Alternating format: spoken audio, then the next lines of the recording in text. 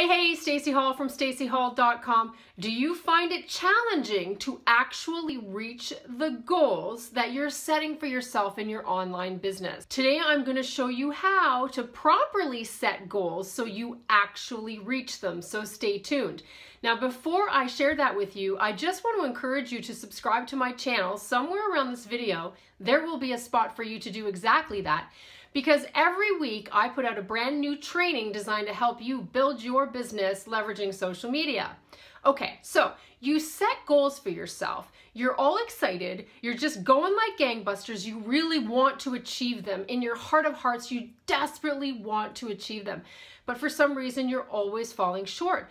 Maybe you even find that you don't even follow through that often with the tasks that would get you there in the first place, and you're just struggling to try and figure out how to stay on task and get it done. Don't worry, I've got some great tips to share with you today. If we've never met before, again, my name is Staci Hall, but my mission is to simplify online marketing and make it fun for entrepreneurs to increase their confidence, influence, and results. So if that sounds good, you're definitely in the right place. How to set goals properly so you actually reach them. This is what we're going to tackle today. There are five steps actually that are critically important to this process, and many people, including me, I have to admit, often miss out on at least one and sometimes several of these really critical, critical steps. So without further ado, what are they?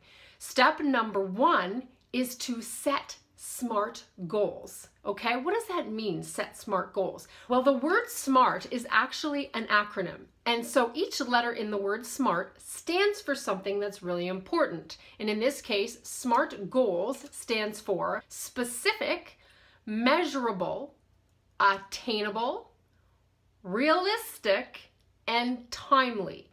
So what does that mean? Well, it means that in order for a goal to be something, first of all, worth setting and then actually achievable, you have to make sure that it's very specific. What we often tend to do is we say things like, oh man, I want to make more money. I want to drive a nicer car. I want to buy a new house. I want a different job. I want to achieve a certain rank in my home business. So we say things as wants as opposed to actually specifically stating an intended goal. There's a huge difference. One is a dream and one is an intention. So it's really important to make sure that you set a goal that's very specific. For example, I will achieve the rank of X by X, like the thing you're going to achieve and the date, for example, like very specific. So measurable means you have to be able to measure it, right? You can't control what you can't track. So in order to see how you're doing and make tweaks to make sure you're headed in the right direction, you need to know what it is you're actually accomplishing every single day. So you make sure that your goal that you're setting can be measured. What is it that you um, can track? Is it phone calls? Is it reach outs? Is it uh, amount of prospects that you talk to? Is it sales? Like what is it? You have to be able to measure your success margins, okay? So that's the M. Attainable, obviously. So make sure that your goal can be reached, right? So you wanna make sure that you're, um, you're setting something that makes sense in the context of your life at this given moment, okay? And R is realistic, so same thing, like don't basically set yourself up to say I'm going to make a million dollars by Friday because unless that really is realistic for you, you're setting yourself up for failure. T is timely. So you want it to be very time specific. So it's not, I want to achieve this rank or I want to make this much money. When? By when? Set a date on it. Put a date, timestamp it, okay? By January 30th, 2018.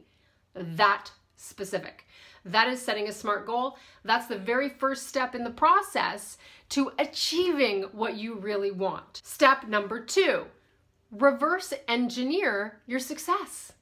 This is the biggest, most unbelievable tip that I ever received, and that's to take a look at what you want to accomplish and start there and work your way back to the front. Tanya Aliza taught me this, and it's so valuable. Start with the end goal in mind, and then figure out what your steps are along the way to accomplish that goal. Let's just make this super simple, okay? Say you decide that you want 10 new customers in the next 30 days. So if you set that goal and you've gone through your whole SMART goal scenario and you've figured everything out, then you know, okay, by the end of 30 days, I want to achieve 10 new customers.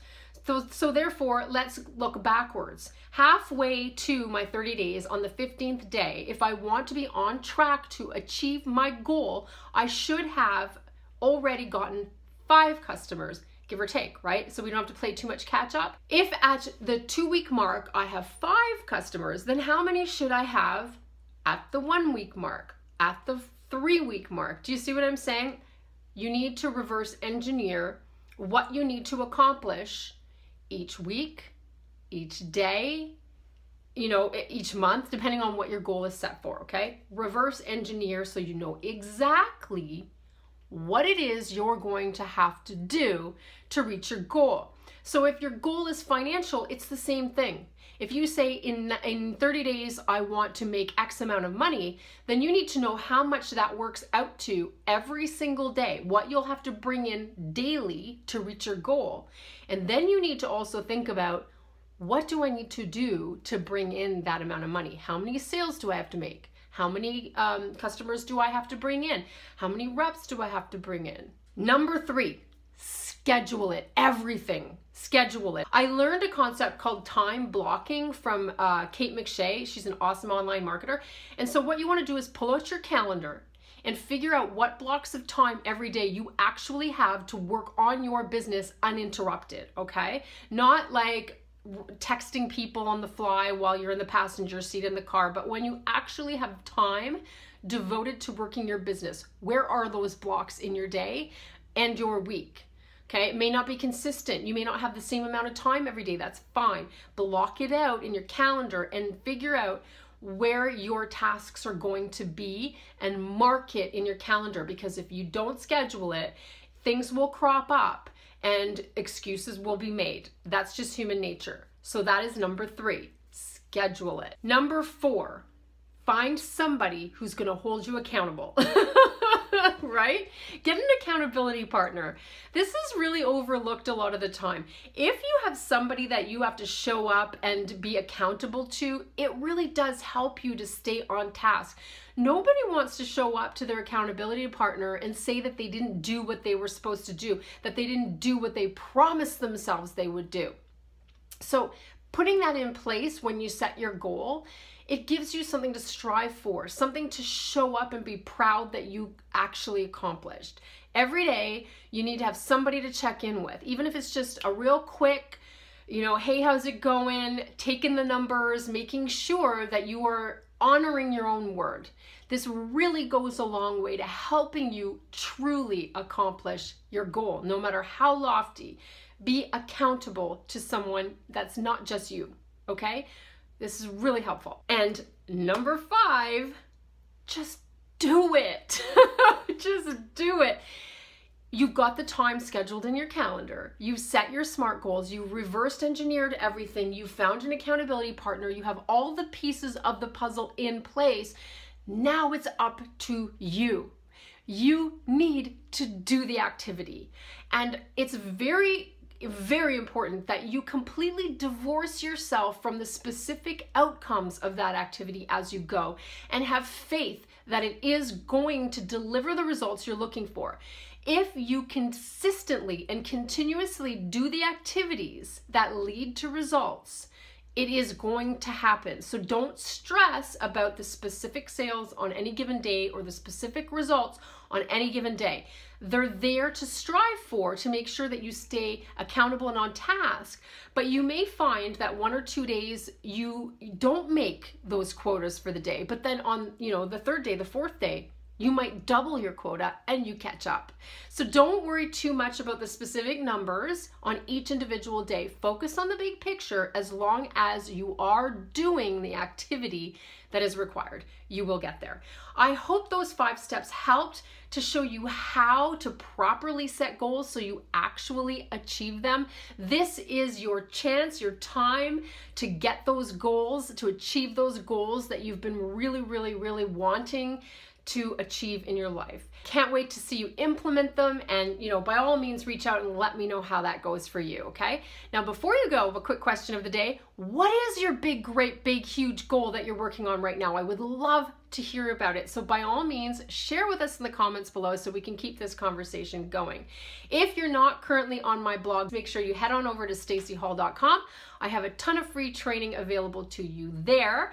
And make sure while you're there, if you haven't already, pop your information in to download my free prospect attraction blueprint. I created this blueprint to help you to learn how to attract your perfect people to you who are already interested in what you're doing, already interested in your product, your service, and your opportunity so you can stop chasing your friends and family and stop spending all your time hanging out in coffee shops doing meetings. if that appeals to you, make sure you grab that while you're there. Okay, it's been super great hanging out with you on this episode. By all means, share this with anybody you think could benefit. I'll see you on the next episode. And in the meantime, go and make your mark. See you next time. Bye for now.